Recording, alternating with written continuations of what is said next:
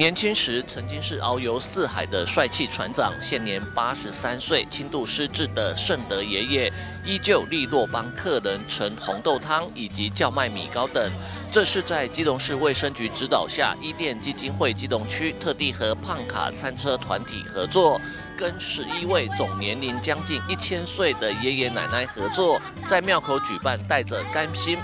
开心、爱心、耐心以及用心的五星快餐车快闪叫卖活动，吸引许多爱心民众热情买单，借此呼吁社会大众关怀高龄长者问题，也提倡在地健康老化的观念。跟我们的呃这个呃胖卡车上联盟啊，然后合作，然后呢，希望说呃透过我们平常跟长辈们的一些呃学习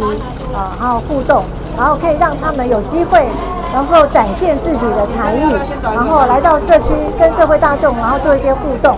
那所以呢，我们就特别做了这个五星快餐车。好，那五星的意思呢，就是希望大家要有呃甘心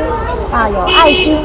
啊，有耐心，好，然后呃还有一些用心，好，然后可以去呃来跟我们这些长辈们来做一些互动。基隆市迈入超高龄化社会，也就是每五位市民好朋友就有一位是六十五岁以上的长者，包括基隆市议员韩世玉、施伟正、陈冠宇，以及基隆市议会议长童子伟和准立委林佩祥秘书，和基隆市卫生局医政科长杨惠玉以及卫生局长张贤正都来关心响应。传几啊工啊，传好了的要伫遮。啊！要招咱大家市民朋友做伙来享受恁做的迄个诶，咱今仔做的好手艺安尼吼，足用心的啊，足温暖的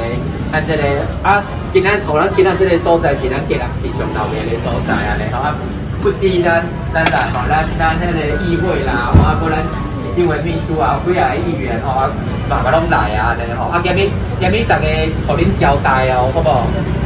好照照顾哦，吼。基隆市卫生局和伊甸基金会都希望可以将基隆打造成为一个友善及无障碍环境，成为一个敬老、顾老、挺老、安老的友爱城市。记者吴俊松，基隆报道。